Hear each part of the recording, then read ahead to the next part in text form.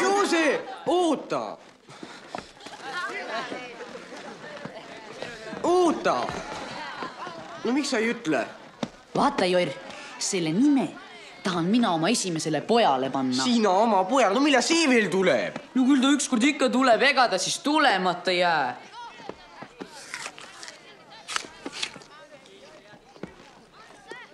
ma olen sulle kaks õuna kütled. Kaks õuna, kolm noh. narr, kuus õuna, siis ma vaatan. mida sa siis vaatad? no vaata nõute pealt, kas maksab ütelda või mitte. ei, siis sa pead ütlema. no hea küll. mängi, Mängi, Polka. mängi, mängi valsserit, mängi valsserit, noh. Polka on parem. mängi Reilendrit.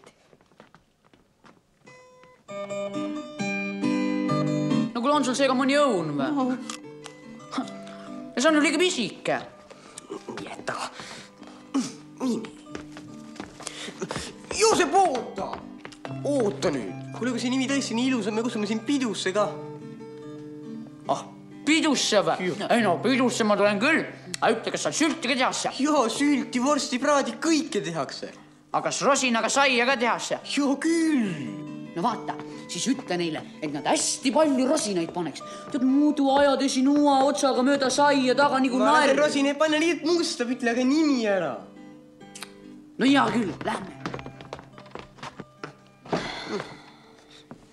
kuule noh, Toots. aga tead, Kiir, mul on neid koguni kaks neid nimesid. Ja vaata see esimene, see õige tore nimi, see on Kolumbus. Columbus. noh, ma tean selle nime ammu juba. no ega see ei tähenda, et sa tead.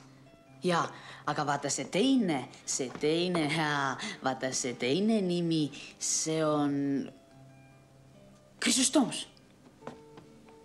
Kri-, Krisos, Kri-, mis asi? Chrysostomus. Krisostomus, Krisostomus, Krisostomus.